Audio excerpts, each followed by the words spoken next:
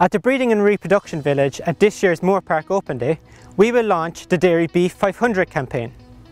With more beef animals coming from the dairy herd, the aim of this new campaign is to develop better integration of dairy and beef industries.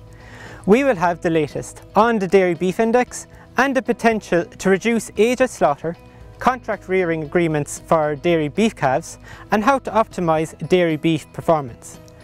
With the arrival of the new Sex Semen Lab and commercial in vitro embryo production, we will have the results from this year's field trials and discuss the impact of these technologies on the genetic progress of dairy and beef herds.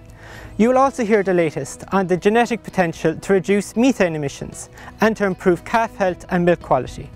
And with the latest research from the next generation herd, showing the reduced environmental impact of the elite EBI cows, there will be plenty for discussion. And if a rest is needed during the day, there will be plenty of seating available at our forum, which will be held twice daily to discuss the benefits of using high EBI genetics, while at the same time maximising the beef merit of progeny coming from the dairy herd.